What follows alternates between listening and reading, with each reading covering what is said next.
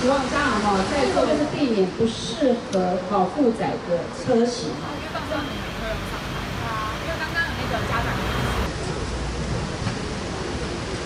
很重要的是脚要把它固定住。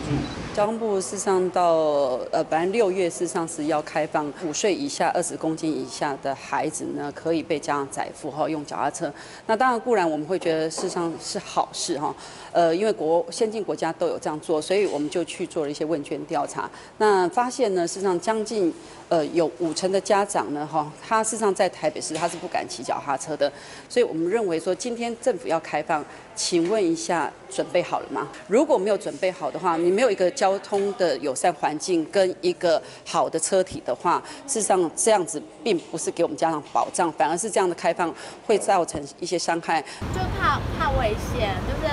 只要可以，我都骑在人行道上面，就算很慢或者用牵的都没关系，这样都是还是以安全为主。因为有很多地方的车真的是比较危险，而且台北市的车有，